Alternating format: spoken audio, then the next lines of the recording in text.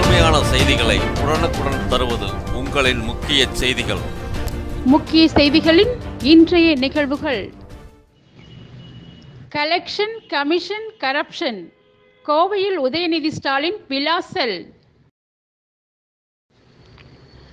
வணக்கம். செய்திகள் வாசிப்பது சுதாரவி ஊழலில் குளித்துக் கொண்டிருக்கும் அதிமுக அரசு என்று வர்ணிக்கும் தமிழகத்தின் எதிர்க்கட்சியான திமுக கழகத்தின் கண்டன பொதுக்கூட்டம் பொள்ளாச்சி அருகே உள்ள பணப்பட்டி கிராமத்தில் கோவை புறநகர் தெற்கு மாவட்ட பொறுப்பாளர் தென்றல் செல்வராஜ் தலைமையில் நடைபெற்றது.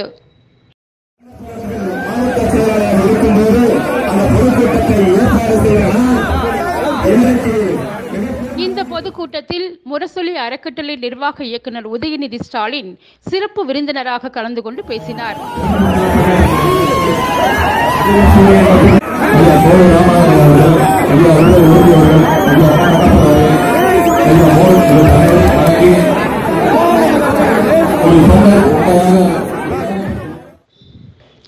அப்போது அவர் தமிழகத்தில் ஆளும் அதிமுக அரசின் தற்போதைய தாரக மந்திரம் கலெக்ஷன் கமிஷன் கரப்ஷன் என்பதுதான். அம்மாவின் ஆட்சி என்று சொல்லிக்கொள்ளும் எடப்பாடி இன்று அந்த அம்மா இருந்து இருந்தால் கண்டிப்பாக சிறையில் தான் இருந்து இருப்பார் என்றார். மேலும் அவர் இன்று உள்ள அதிமுக அமைச்சர்கள் எம்எல்ஏக்கள் வீடு புகுந்துதான் திருடவில்லை. மற்றபடி எல்லா துறைகளிலும் திருடிவிட்டார்கள். கோவையில் உள்ள எட்டு குளங்களை தூர்வாரி ஆகாய தாமரை அகற்றுவதாக கூறி பல கோடி ஊழல் செய்து உள்ளார் அமைச்சர் வேலுமணி. ஆனால் அவர் தூர்வாரிய குளங்களில் ஒரு குளத்தை மட்டும் காணவில்லை என கூறுகின்றனர். என்னை எல்லோரும் அரசியல் வந்ததற்கு தலைமை பொறுப்பு ஏற்பதற்குத்தான் என்றார்கள். ஆனால் எனக்கு அதில் விருப்பமில்லை.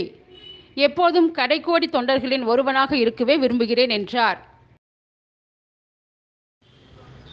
இந்த கண்டன பொதுக்கூட்டத்தில் திமுக உயர்நிலை செயல் திட்ட குழு உறுப்பினர் மு. கண்ணப்பன் மாநில இளைஞரணி துணை செயலாளர் அன்பின் மகேஷ் பொய்யாமொழி எம்எல்ஏ மாநில மாணவரணி செயலாளர் C V M P Ezhilarasan M L A மாநில கொள்கை பரப்பு துணை செயலாளர் நெல்லிக்குப்பம் புகழேந்தி எம்எல்ஏ மற்றும் மாநில இளைஞரணி துணை செயலாளர் பைந்தமிழ் பாரி தமிழ்மணி உள்ளிட்ட ஐந்தாயிரத்திற்கும் மேற்பட்ட திமுக தொண்டர்கள் கலந்து கொண்டனர்.